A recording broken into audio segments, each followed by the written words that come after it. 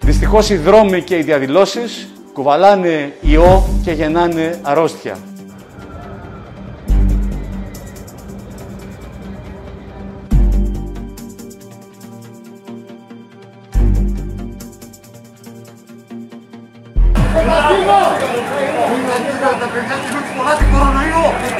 Εσείς κολλάτε κορονοϊό!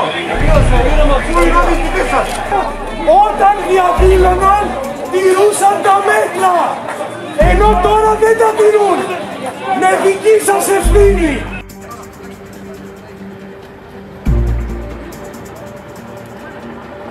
με δύο εγκλωβισμένους βουλευτές οι οποίοι περπατούν και ακολουθούν οι αστυνομικές δυνάμεις Διότι αυτό που έχει κάνει αυτή τη στιγμή είναι να μην επιτρέπει σε βουλευτές να, πρι- να κυκλοφορούν ελεύθερα. Ελεύθερα, δεν μπορώ να περάσω.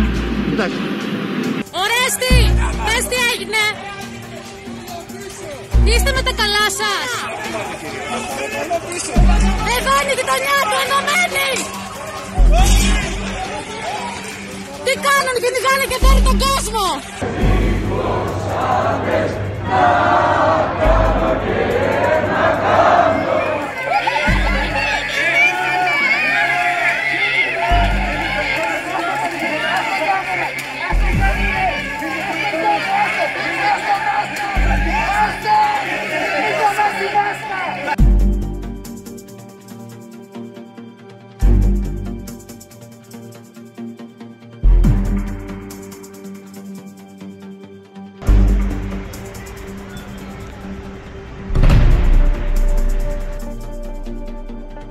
Δεν είναι ώρα για παραστάσεις με μικροκομματικά ωφέλη, βάζοντας σε κίνδυνο ζωές.